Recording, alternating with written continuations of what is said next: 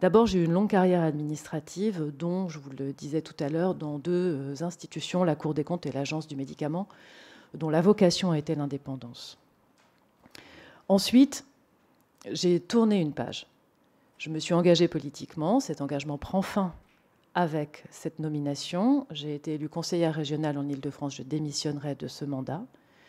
Et je rentre dans une nouvelle étape de ma carrière dans laquelle je souhaite mettre mes compétences et mon, énergie au service de ce régulateur en toute liberté. Il y a eu des précédents. Je voudrais vous citer par exemple Jean-Pierre Jouillet, qui est passé de secrétaire d'État aux affaires européennes à président de l'autorité des marchés financiers. Mais on a eu aussi d'autres figures politiques qui ont exercé des fonctions politiques, puis des fonctions euh, d'autorité administrative indépendante. Je pense à Jacques Toubon, par exemple, euh, comme euh, médiateur de la République.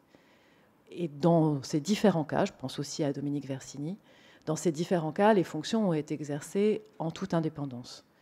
Donc je vous le dis euh, très sincèrement, très solennellement aujourd'hui, d'une certaine manière, dans ces fonctions, je reprends ma liberté, ma liberté euh, de magistrate, euh, ma liberté sur la base de ma carrière et de mes convictions que je vous ai exposées sur le modèle énergétique français, pour être de nouveau, d'une manière différente, au service de mon pays.